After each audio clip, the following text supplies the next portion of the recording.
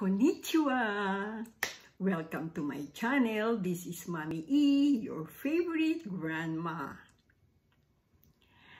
And today we are going to make our first of a series reaction to a country, a superpower, Japan. And the video is History of Japan. So without further ado, guys, come and join me.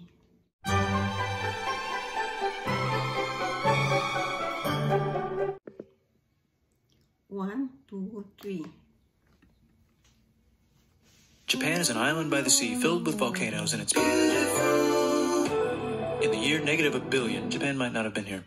In the year negative 40,000, it was here, and you could walk to it, and some people walked to it. Then it got warmer, some icebergs melted, it became an island, and now there's lots of trees because it's warmer.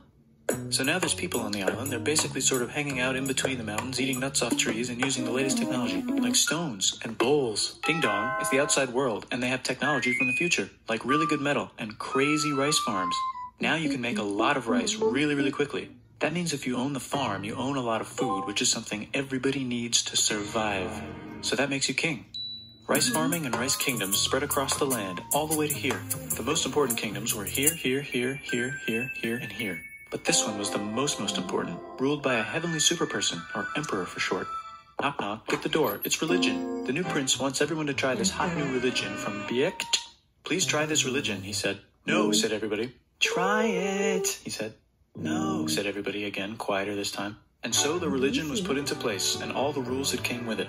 Then the government was taken over by another clique, and they made some reforms, like making the government govern more, and making the government more like China's government, which is a government that governs more. Hi, China, they said. Hi, dipshit, said China. Can you call us something else other than dipshit, said Japan. Like what, said China. How about sunrise land, said Japan. And they stole China's alphabet and wrote a book about themselves. And then they made lots of poetry and art and another book about themselves. Then they stopped moving the capital every time the emperor died and kept it in one place for a while, right here. And they conquered the north finally. Get that squared away. A rich hipster named Kukai is bored with modern Buddhism, visits China, and learns a better version, which is more spiritual. Comes back, reinvents the alphabet, and causes art and literature to be great for a long time. And the royal palace turned into such a dream world of art that they really didn't give a shit about running the country. So if you live outside the palace, how are you supposed to protect your shit from criminals? Hire a samurai. Everyone started hiring samurai. Rich, important people hired samurai. Poor people who could not afford to hire samurai did not hire samurai. The samurai became organized and powerful, more powerful than the government, so they made their own military government. Here, they let the emperor still be emperor, but the shogun is actually in control. Breaking news, the Mongols have invaded China. We've invaded China. Said the Mongols. Please respect us, or else we might invade you as well. Okay, said Japan. So the Mongols came over, ready for war, and died in a tornado. But they tried again, and had a nice time fighting with the Japanese, but then died in a tornado. Then the emperor overthrows the shogunate. Then the shogunate overthrows him back and moves to Kyoto and makes a new shogunate. And the emperor can still dress like an emperor if he wants. That's fine. Now there's more art. Like painting with less colors, collaborative poetry, plays, monkey fun, tea parties, gardening, architecture, flowers. It's time for who's going to be the next shogun. Usually it's the shogun's kid, but the shogun doesn't have a kid. So he tries to get his brother to quit being a monk and be the next shogun. He says okay, but then the shogun has a kid. So now who's it going to be? Vote now on your phones. And everyone voted so hard that the palace caught on fire and burned down. The shogun actually didn't care. He was off somewhere doing poetry. And the whole country broke into pieces. Everyone is fighting with each other for local power, and it's anybody's game. Knock knock, it's Europe. No, they're not here to take over. They just want to sell some shit, like clocks, and guns, and Jesus. So that's cool, but everyone's still fighting each other for control, now with guns. And wouldn't it be nice to control the capital, which right now is puppets, with no one controlling them? This clan is ready to make a run for it, but first they have to trample this smaller clan, which is in the way. Surprise, the smaller clan wins, and the leader of that clan steals the idea of invading the capital and invades the capital. And it goes very well. He's about halfway through conquering Japan when someone who works for him kills him, and then someone else who works for him kills them, and that guy finishes conquering Japan. And then he confiscated everybody's swords and made some rules. And now I'm going to invade Korea and then hopefully China, he said, and failed, and also died. But before he died, he told these five guys to take care of his five year old son until he's old enough to be the next ruler of Japan. And the five guys said, Yeah, right. It's not going to be this kid. It's going to be one of us, because we're grown ups. And it's probably going to be this guy, who happens to be way more rich and powerful than the others. A lot of people support him, but a lot of people support not supporting him. They have a fight, and he wins and starts a new government right here. And he still lets the emperor dress like an emperor and have very nice things. But don't get confused. This is the new government, and they are very strict. So strict they close the country. No one can leave and no one can come in, except for the Dutch if they want to buy and sell shit, but they have to do it right here. Now that the entire country was not at war with itself, the population increased a lot. Business increased, schools were built, roads were built, everyone learned to read, books were published, there was poetry, plays, sexy times, puppet shows, and Dutch studies. People started to study European science from books they bought from the Dutch. We're talking geography, skeletons, physics, chemistry, astronomy, and maybe even electricity. Over time, the economic and cultural prosperity began to gradually slow down. Knock knock. It's the United States, with huge boats, with guns, gunboats. Open the country. Stop having it be closed, said the United States. There was really nothing they could do, so they signed a contract that lets United States, Britain, and Russia visit Japan anytime they want. Choshu and Satsuma hated this. That sucks, they said. This sucks. And with almost very little outside help, they overthrew the shogunate and somehow made the emperor the emperor again and moved him to Edo, which they renamed Eastern Capital. They made a new government, which was a lot more Western. They made a new constitution that was pretty Western, and a military that was pretty Western. And do you know what else is Western?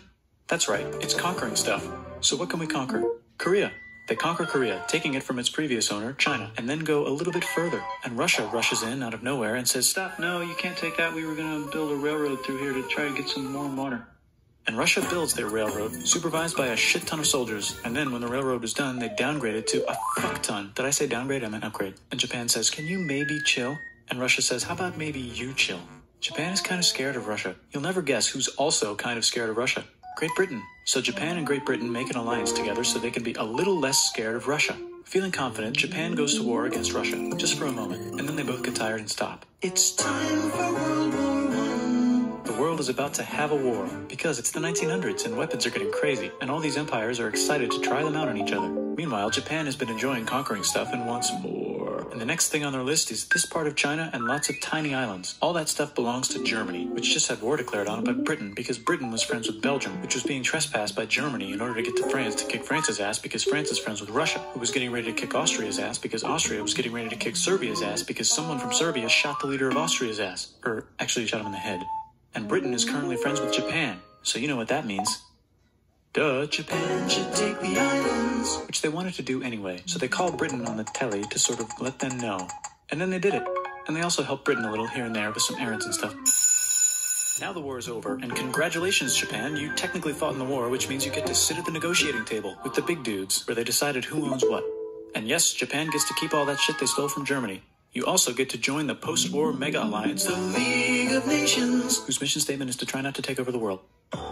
The Great Depression is bad, and Japan's economy is now crappy, but the military is doing just fine, and it invades Manchuria. And the League of Nations is like, no, don't do that. If you're in the League of Nations, you're not supposed to take over the world. And Japan said, how about I do anyway? And Japan invaded more and more and more and more of China, and was planning to invade the entire East. You've got mail. It's from Germany, the new leader of Germany. He has a cool mustache and he's trying to take over the world and needs friends. This also got forwarded to Italy. They all decided to be friends because they had so much in common. It's time for World War II. Germany is invading the neighbors. Then they invade the neighbors' neighbors. Then the neighbors' neighbors' neighbors, who happen to be Britain, said, Holy shit. And the United States started helping Britain because they are good friends, and started not helping Japan because they're friends and our friends are not friends. Plus, they're planning on invading the entire ocean. The United States is also working on a large, very huge bomb, bigger than any other bomb ever, just in case. But they still haven't joined the war. War looks bad on TV, and the United States is really starting to care about their image. But then Japan spits on them in Hawaii and challenges them to war, and they say yes. And then Germany, as a symbol of friendship, declares war on the United States also. So the United States goes to war in Europe, and they help the gang chase Germany back into Germany, and they also start chasing Japan back into Japan. And they haven't used the bomb yet and are curious to see if it works, so they drop it on Japan. They actually drop two.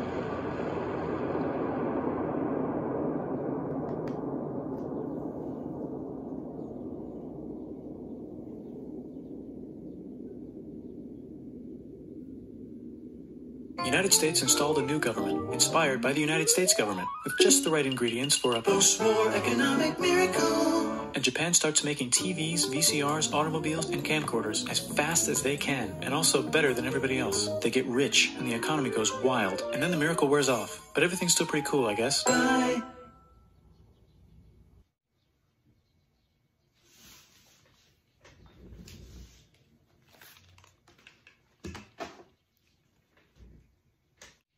That was an outstanding summary of Japan history in less than 10 minutes.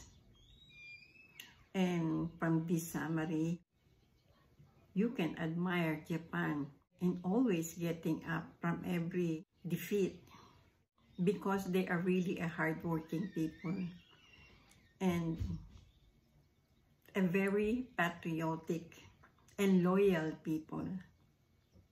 That's what I admire in the Japanese people. And at this time, the Japanese people are peace-loving people. Let us be friends with Japan. I love the Japanese. Okay. Domo arigato. And thank you for watching. If you like my reaction, please give me a big thumbs up and see you on my next reaction.